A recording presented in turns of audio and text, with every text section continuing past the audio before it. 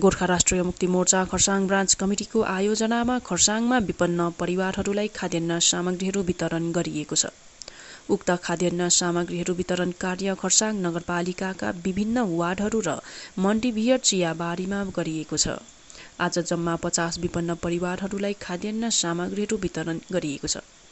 उक्त खाद्यान्न सामग्रीहरू वितरण कार्यमा गोर्खा राष्ट्रिय मुक्ति मोर्चा खरसाङ ब्रान्च कमिटी सभापति निमा लामा खरसाङ टाउन कमिटी सभापति सञ्जय छेत्रीको अगुवाईमा गरिएको हो। उक्त वितरण कार्य खरसाङको मोटर स्ट्यान्ड नजिक रेलवे पेन्सनर भवनमा वितरण गरिएको थियो।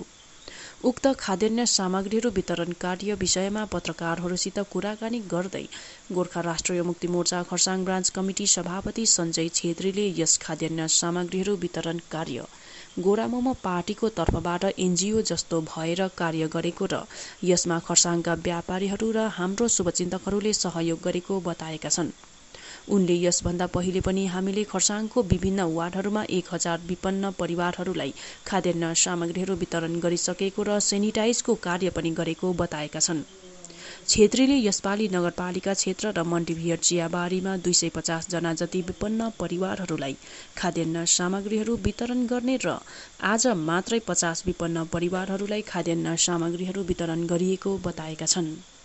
शुभ कार्य हजुरहरूले गर्नु भइरहेको छ है। यो तपाईँहरूको के पार्टीगत रूपमा गर्नुभएको या अरू कहीँबाट हजुरहरूलाई सहयोग हात बढाएको छ? यो भन्दाखेरि हुनु त हामी एउटा पार्टीकै मान्छे हो तर हामी एउटा एनजिओ जस्तो भएर हामीले खरसाङ टाउनमा जति पनि हाम्रो एउटा वेल विसरहरू छ उहाँहरूले जुन चाहिँ व्यापारी दाजुभाइहरूले उहाँहरूको यस्तो लकडाउनको पिरियडमा नि उहाँहरूले नि धेरै सहयोग गर्नुभएको छ।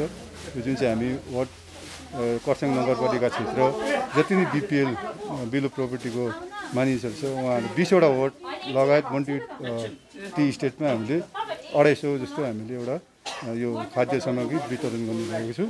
र हिजो अस्ति पनि हामीले खरसाङको धेरै क्षेत्रहरूमा मोटामोटी हजार एघार सौ परिवारलाई हामीले वितरण गरे खरसाङ ब्रान्च कमिटीको थ्रुबाट है?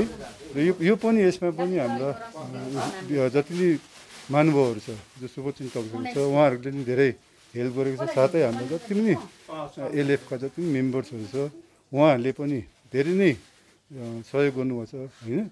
र त्यो जति पनि हाम्रा बिपिएल क्याटेगोरीहरू छ वार्ड वार्डमा अहिले लकडाउनको पिरियडमा हामीले अलिकति उहाँलाई केही सहयोग राहत होस् भनेर चाहिँ हामीले यो डिस्ट्रिब्युसन गर्दै हिँड्दैछौँ।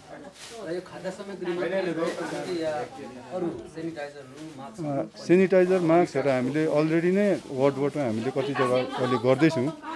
चारैपट्टि वार्डमा हुँदैछ खरसाङ टाउन समष्टिको अन्तर्गत।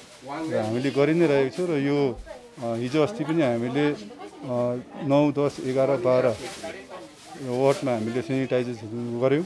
साथै दुई तिन चारमा पनि भयो। र यसरी नै अन्य जति पनि वार्डहरू छ त्यहाँ पनि अब चाँडै नै हुँदैछ।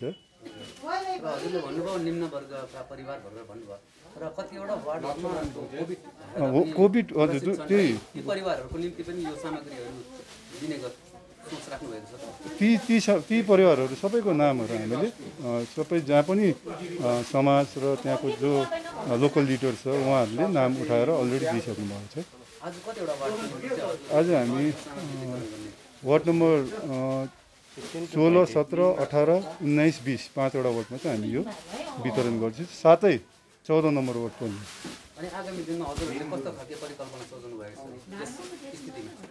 होइन जहाँ पनि त्यस्तो केही पनि असुविस्ता हुन्छ त्यति बेला हामी अग्रसर भएर उहाँहरूलाई सहयोग गर्ने हामीले सोचेको छौँ।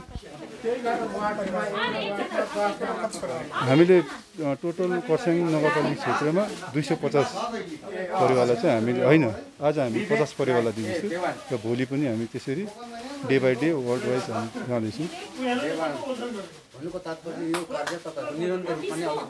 निरन्तर रूपमा अघि